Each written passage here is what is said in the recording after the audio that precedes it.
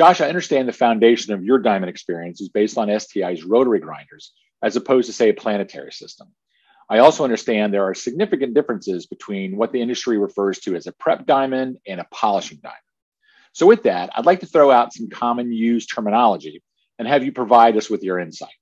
So, Josh, give us your definition of a resin bond diamond. A resin bond diamond is any diamond that's going to be used for polishing. Uh, when it comes to the, the, physical description of the tool itself, it's usually going to be Velcro backed. It may have uh, the traditional wall, waffle type style uh, face on it, where it's got individual small segments. It also could be ones that have bigger segments on it.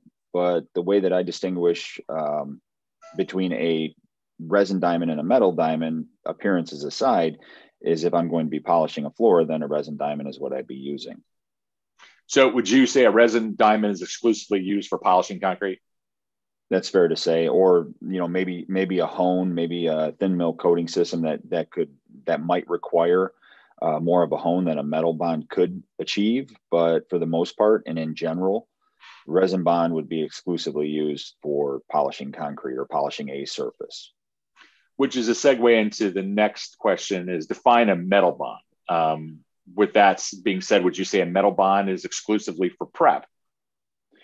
Yes, uh, it could be also used for honing, which would be a portion of a polishing process where we're trying to re- refine the surface of the concrete or the surface to have less noticeable scratches. So there could be a metal bond that is being used to strip epoxy coating, and there also could be a metal bond tool that's being used to close up a scratch pattern before the resin bond were to take over.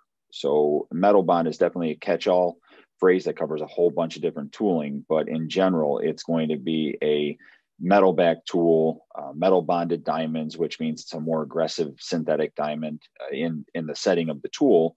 And then also the attachment, almost always, in my experience, is going to be some kind of mechanical attachment, not a Velcro attachment, because they're traditionally heavier because they are metal backed. So, kind of the to summarize, a metal bond diamond, from what I'm understanding you correctly, can be used in a raw concrete situation to create profile for an incoming application like an epoxy or coating, where it can also be used for removing a coating or thin set or something along those lines too. It's just a variation of the metal bond diamond itself. Correct. Yeah, the different the different face designs, the different segments, the different um, grits, the different bonds, all that can fall will fall under the umbrella of a metal bond. So again, it's a very general term, but it would be uh, any metal tool that goes under a grinding machine to do, let's say, anything but actual resin polishing, just because of the nature of the tool. So from prep to honing, let's say. Okay, so that begs the next question. You have resin for polishing, metal for prep. Um, I've heard the term transitional and hybrid diamonds. So I'm assuming that's to be used somewhere in between those two processes. Yeah, transitional is probably the most accurate term that could be used for that tool. Um, it's another way to say it is it's kind of a bridge tool. It's the tool that in polishing is going to take the process from the aggressive scratch of a metal bond and then make that scratch less aggressive or uh, let's say a higher frequency so the peaks and valleys between the scratches uh, are not as great so that then after that tool, that hybrid or that transitional is finished, the resin bond tooling, which is a much finer cutting tool, can then polish the floor from that point forward. Uh, so transitional, hybrid, it just depends on the different manufacturers, but uh, either term works just to indicate that it's a mixture of both. Because when I go from an aggressive metal to a finer resin, it's a jump too much of a jump to go from a pure metal to a pure resin, which is why the industry all systems that I've seen all have some kind of a transitional tool. Okay.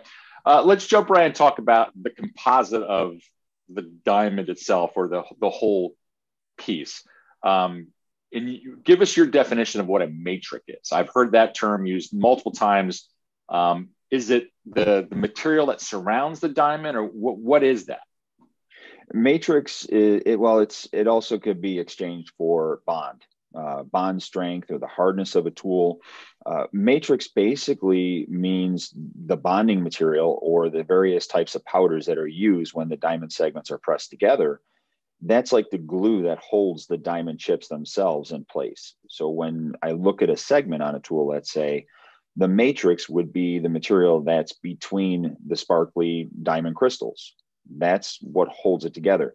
That's also where a lot of the, the trade secrets hide in the tools. I'm not a tool maker, but the diamond itself is a, the diamond chip itself is important, of course, but the way that that crystal or crystals are bonded together is going to determine how well they stay in place to do their job of cutting the surface before the diamond is dulled out or becomes spent to the point where the matrix will expel it. And that's just a function of abrasion. But matrix basically is the glue or the bonding that holds those diamond crystals in the shape of that segment. Okay, so now we have the actual diamond itself being held together with the matrix. Um, let's get into grits. I've seen numbers from a, a, triple zero grit, you know, up to a 3000 grit um, on a resin. Kind of go through, um, you know, what grit grits are associated with what diamonds, and even a little more of when you would use a particular grit. Are some grits associated primarily or exclusively with prep, and other ones with polishing? Um, is there a crossover? Um, just kind of give us your definition or explanation of what a grit is. With grits, if anybody is familiar with like sandpaper, sandpaper is probably the most universal way to compare a diamond grit to um, a grit that people can kind of understand as far as the so called system. The lower the grit, the more aggressive it is. Same as in sandpaper. So that means the lower the number that's given for the grit of the diamond, let's say a 16 grit, which is an aggressive size, that is going to be more aggressive than, say, a 30. A 30 grit is going to be approximately half the size of the 16 because what that number indicates, and it's going to vary by manufacturer, there's no universal standard, but it's going to indicate the screen size of the diamond crystal and then how it's graded to determine what I'm going to say is a 16 or a 30 grit.